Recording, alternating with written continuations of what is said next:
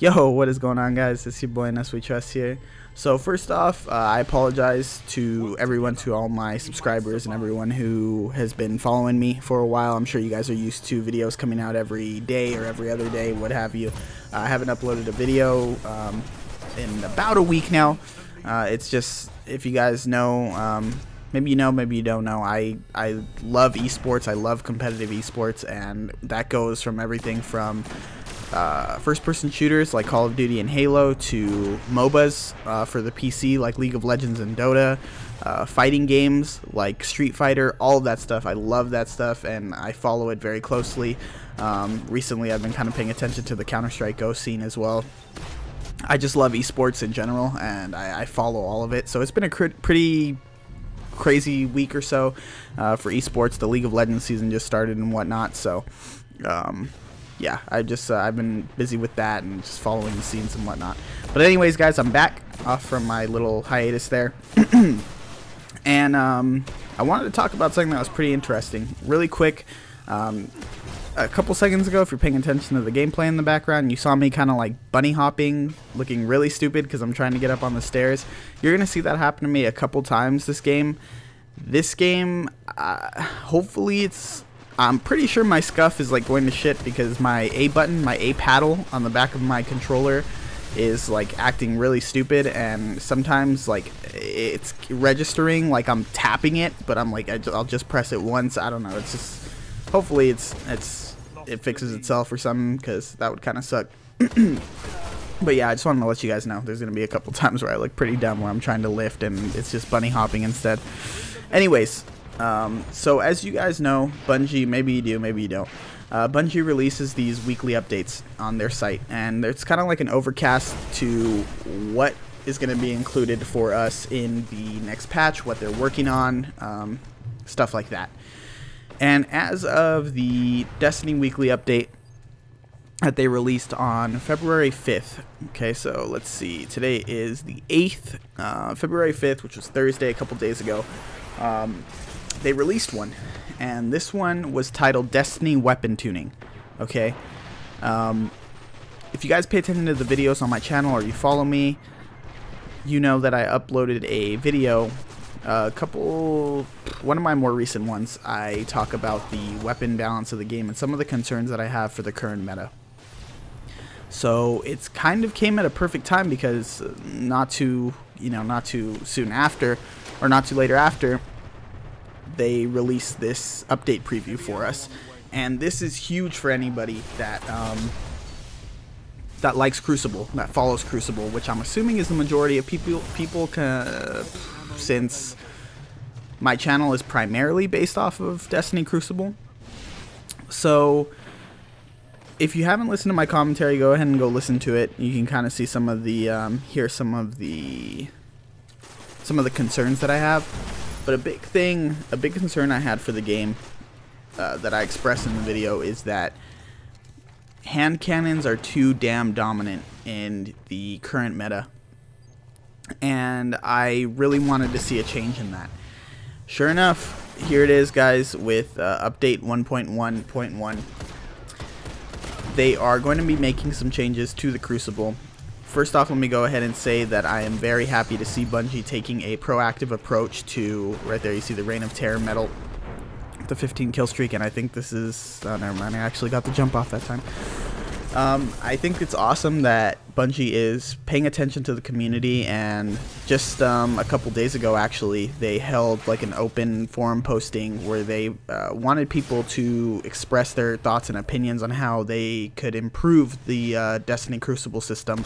And I you know the, primarily I want to say I think the biggest thing that I saw or the most frequent thing I saw posted was the lack of Crucible rewards, which I do think is a huge thing. But I'm not gonna get into that too much, guys, because you know me and uh, honestly, I'm a, I'm I'm a Crucible guy. I, am a PvP guy for the, for the most part in any game. And don't get me wrong, I like my PvE stuff, but for the most part, I'm a very competitive person, and I mainly just care about the weapon balancing and tuning because I play Crucible for fun as I get slide shotgunned in the mouth, and then he salutes me. What a little shit.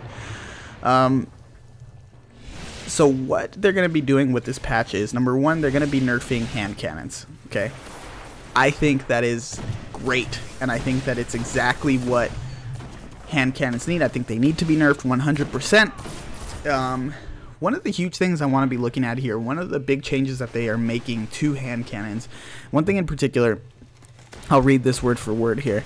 Um, damage falls off. Uh, dam damage fall off starts closer to the shooter, and follow-up shots are less accurate at long range that it could be huge for the game, especially considering the fact that Thorn is a damn mini sniper and could two-shot people across the map. Considering the fact that you can three-shot people with the hand can with a uh, last word hand cannon from across the map, that just should have never been a thing in the first place, and they are nerfing that.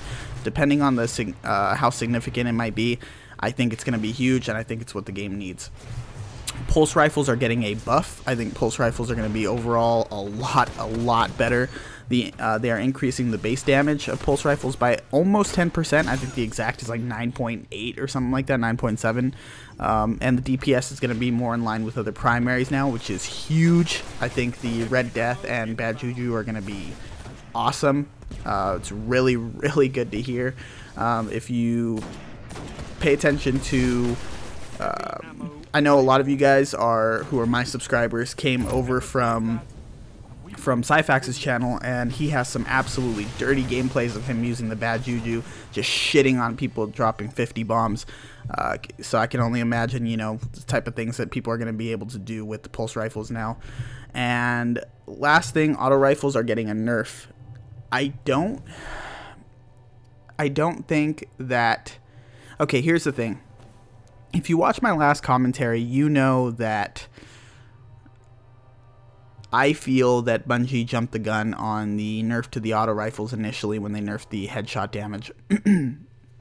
well, they are nerfing the auto rifles again, but I'm not too upset about it, and let me get into why. They are reducing the base damage of auto rifles by 2.5%. Their reasoning for this is that auto rifles are by far the, at least according to their statistics, they're by far the dominant um, multiplayer primary that is used which is pretty crazy. Then again, I mean, not so much, but still, regardless. The reason why I feel like the nerf is okay, even though if you listen to my last commentary, I'm talking about how they should buff the auto rifles back to how they used to be, is a big reason why I feel like they should the, the change should have been reverted in the first place was due to the fact that the hand cannons were just so dominant. And with this nerf, it could pull the. This could be. I think they're more worried about not making it so that since they're nerfing hand cannons, that auto rifles are going to be just by far the dominant thing again. They don't want it to shift back to how it was at the beginning of the game where it was all about auto rifles and that's it. So with the nerf to the hand cannons, I think they're kind of playing it more on the safe side bringing everything more in line um, so that we have like this diverse, you know, there's a couple different depending on like maybe the map situation that you're on. It's not always going to be last words. Maybe certain certain maps like Rusted Lands or something, a pulse rifle will be better for those longer range of sights. Whereas a map like Firebase Delphi, where you're primarily inside fighting for B, you know, stuff like that, uh, maybe a hand cannon would be better. So I think they're just more playing it cautious and making it so that uh, auto rifles aren't like by far the more like most dominant weapon, which I think could be a good thing. So overall, I'm really excited about these changes, guys. Hopefully you are too. I'm gonna go ahead. If you want to, I only touched on a couple things, the things that really I felt like needed to be touched on. If you guys want to go ahead and read it word for word for yourself, I'll go ahead and link the details in the description below. And um, yeah, guys, uh, like I said, sorry about the little break I took. I'm back. I'll be uploading a bunch of content and stuff for you guys. Like God knows I have a million of it. So um, I'll catch you guys later. Peace.